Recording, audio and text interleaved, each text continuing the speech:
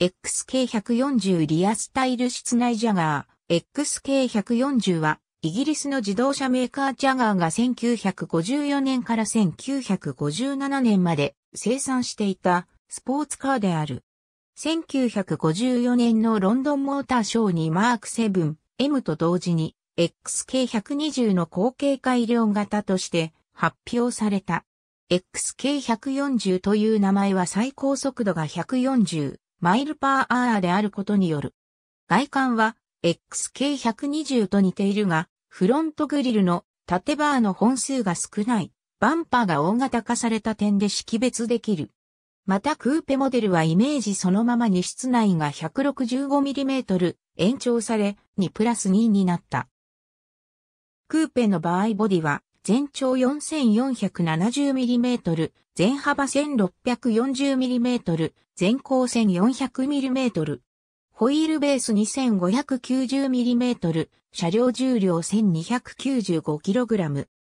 搭載された直列6気筒の XK エンジンは内径 Φ84.0mm 高低 106.0mm の 3442cc で圧縮比は8.0、SU 製134のツインキャブレターを装備し、出力はマーク 7M と同様 190HP、5500rpm、トルク 28.1kgm、3000rpm に向上。SE 仕様では C タイプのシリンダーヘッドを流用し 210HP、5700rpm を発揮した。